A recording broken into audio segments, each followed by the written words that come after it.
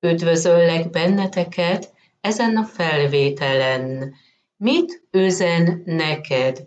Ezt megtekintjük most ennél a három kérdőjeles jóslásnál. Az első kérdés az lenne, hogy mik az ő gondolatai, mik az ő tervei. Ez látható ennél a felső kártyánál.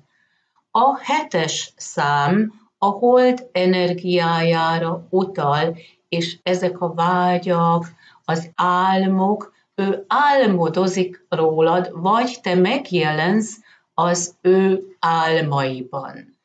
Ha megtekintjük ezt a kártyát, akkor láthatóak az érmék, és az utal a föld elemére. Tehát ez az álom megvalósul.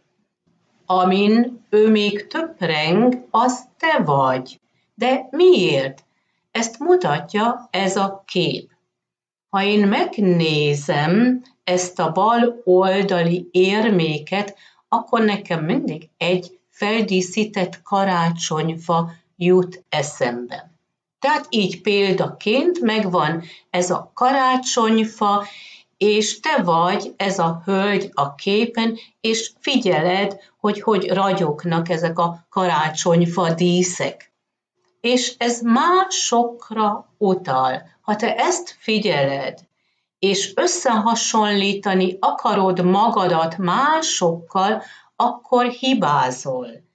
Nem kell összehasonlítani magadat másokkal, hanem vedd észre a saját érmédet, az ott van előtted, a lábad előtt, csak le kell hajolni és felvenni, a kezedbe venni, ennek tudatában lenni, hogy te értékes vagy.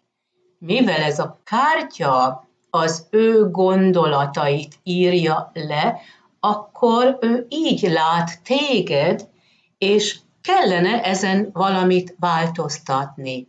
Én megismétlem magamat, légy tudatában a saját értékeiddel, vedd kezedbe ezt az aranyérmét, ami ott van előtted, és hogy mások hogy vélekednek rólad, az nem fontos. Az a fontos, hogy ő szeressen téged, hogy ő értékeljen téged, és te értékes vagy számára.